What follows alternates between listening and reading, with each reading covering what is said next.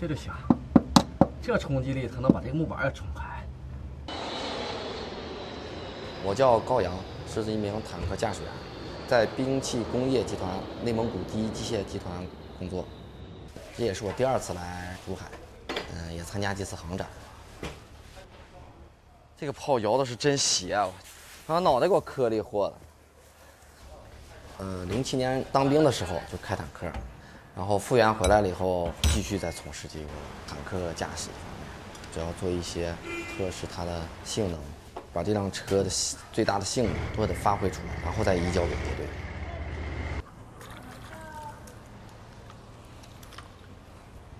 走吧。今天 VT 五出车了，你再给你个对讲机，你俩就中间有些动作的时候可以喊一下。都在吧？六幺七就在了，六幺八的在了。行，准备上。那军员总，你们那边准备吧。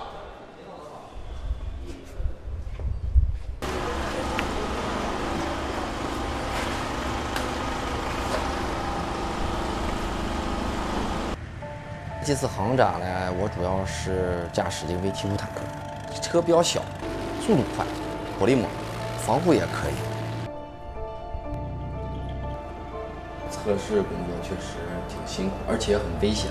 你再上一个坡，坡度的都上不去，或者是滑下来，速度太快了以后也容易侧翻。每种路面它这个颠簸对你的这个腰、胃、你的心脏也是有一定的影响，同时对你的耳朵，因为它噪声特别大。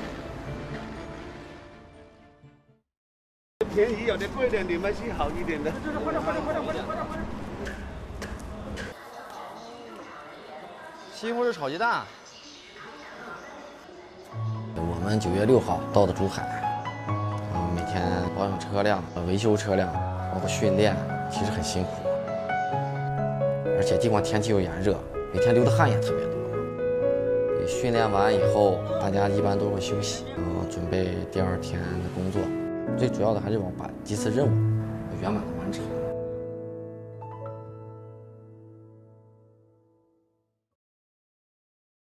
珠海航展地面装备演示活动，演训队全体向您报告。在兵学院的指挥领导下，我们正式开始了演示训练活动。你们所做的工作，向全球展示咱们兵工人我们的产品的技术，我们操作的良好的经验的记忆。好，好，谢谢，好，这样。在演练场背后，青山葱郁，碧波荡漾，在山海交相辉映下。呃，作为军工人吧，呃，产品通过这个我们的实验，它确实可靠，然后把这个车圆圆满满的交给我们的解放军，为国防事业贡献自己的一份力量，嗯，其实挺自豪的。